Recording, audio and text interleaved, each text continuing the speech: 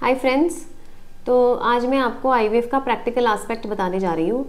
बहुत सारे पेशेंट्स जो आईवीएफ करवाने के लिए आते हैं, वो बहुत ज़्यादा डरते हैं और काफ़ी लोग आईवीएफ इसलिए पोस्टपोन भी कर देते हैं क्योंकि उनको आईवीएफ से डर लगता है। आईवीएफ कहते हैं कि आईवीएफ करवाते हैं तो बहुत सारे इंजेक्शन्स लगवाने पड़ते हैं हार्मोनल इम्बैलेंस हो जाता है प्रेग्नेंट होने के बाद कंप्लीट बेड रेस्ट करना पड़ता है और जॉब छोड़नी पड़ती है। तो आपको मैं ये चीज़ें क्लियर कर देती हूँ कि आईवीएफ पहले के कंपैरिजन में काफ़ी सिंप्लीफाई हो गया है। आईवीएफ में अभी आजकल जो इंजेक्शन्स लग रहे हैं, वो पेशेंट को अराउंड 10 से 12 दिन लगते हैं और वो सबक्यूटेनियस इंजेक्शन होते हैं जो बहुत पेनफुल नहीं होते हैं। जनरली पेशेंट उनको आराम से बिना स्ट्रेस के लगवा लेता है।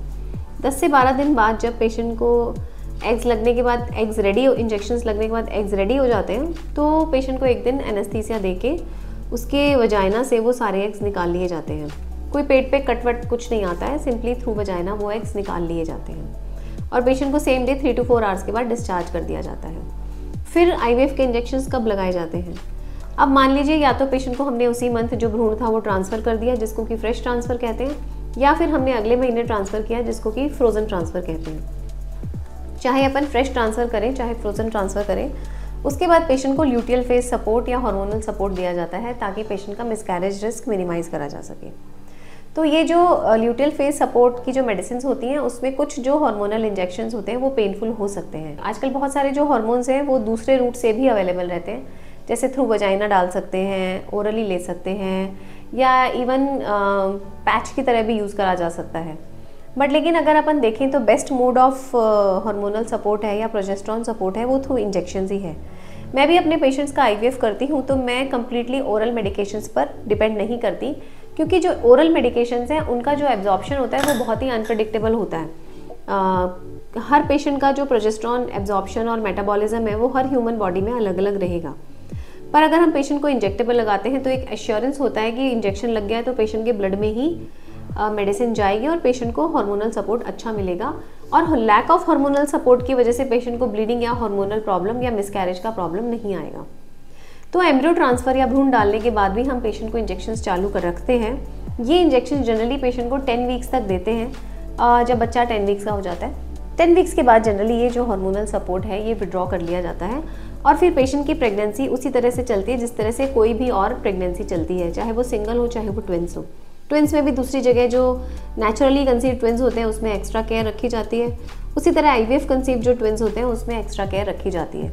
ऐसा नहीं है कि नेचुरली कंसीव ट्विंस की केयर अलग होगी और आई वी कंसीव ट्विंस की केयर अलग होगी। दोनों की सेम ही होती है, कोई फ़र्क नहीं होता।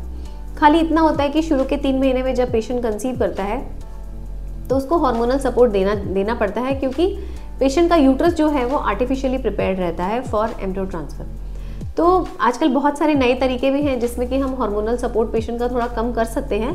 बट लेकिन most of the doctors believe in giving full fledged progesterone support क्योंकि कोई भी नहीं चाहता कि खाली मेडिसिन की डेफिशिएंसी की वजह से पेशेंट का आउटकम खराब आए।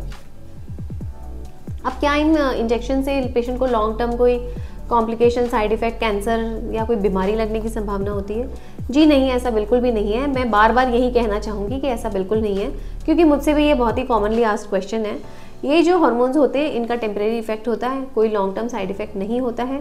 ज़्यादातर ये प्रेगनेंसी एंड रिलेटेड हॉर्मोन्स हैं जो सिंथेटिकली प्रिपेयर्ड है। ऐसा कुछ नहीं है कि कोई एबनॉर्मल बाहर की दुनिया से ला आपको इंजेक्शन लगाया गया है, जिससे आपको कोई लाइफ में परमानेंट कोई डैमेज हो जाएगा। ऐसा कुछ भी नहीं है।